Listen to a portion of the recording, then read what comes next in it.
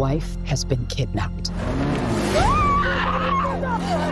They could hold her for 20 years, or they could kill her tomorrow. I want to help you. Can't let her die. We need to get in there now. Echo 3 is a geopolitical thriller about an American scientist in Colombia on a research project who gets kidnapped and held hostage by a young Colombian militia. And the American government, for a number of reasons, is unable or unwilling to secure her release. The White House doesn't even want to hear about her. They won't engage. So her brother and husband, who are highly trained Delta Force soldiers, take things into their own hands. You might see her as this damsel in distress, but what you find is that she's tough as nails and willing to do whatever it takes to get back to her family. Don't fantasize of a rescue. They can't find this place. You don't know my family? What makes the show original is how deep it dives into the characters and their relationships as they fight their way through this life and death situation of trying to get reunited. The truth is, democracy is dead in North America. We reject your influence. I wanted to write a thriller that was more nuanced than just good versus evil. I wanted these characters that are lethal and dangerous, but also have emotional flexibility and vulnerability. You did nothing wrong, babe. We're gonna find a way out of this. Which I hope gives people the sense that they're getting something special. I don't have a choice. I have to get her out. This feels much more like a sweeping, immersive, 10 hour long film.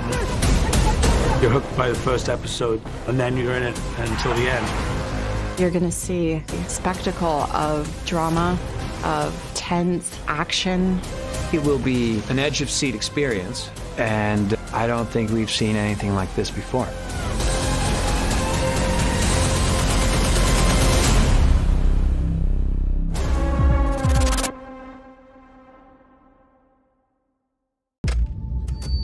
I'm ready. Amber? If you're out there and you're listening,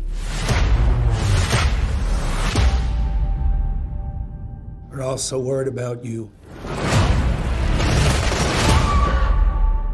You did nothing wrong. We're gonna find a way out of this.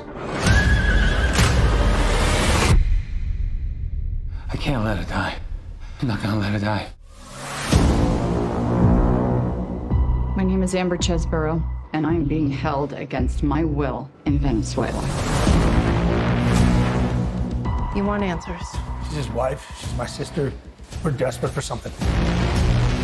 You better go down there. Take care of your sister. We don't need money. This is political stuff. Don't worry about it. My brother and my husband are in special forces. I know how these decisions are made. They won't approve a raid.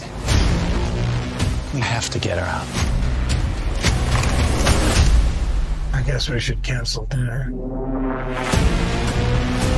How many lives are you willing to trade for your sister? CIA wants a war, and you're going to give it to them. The truth is, democracy is dead in North America. We reject your influence. Don't fantasize of a rescue. They can't find this place. Don't know my family?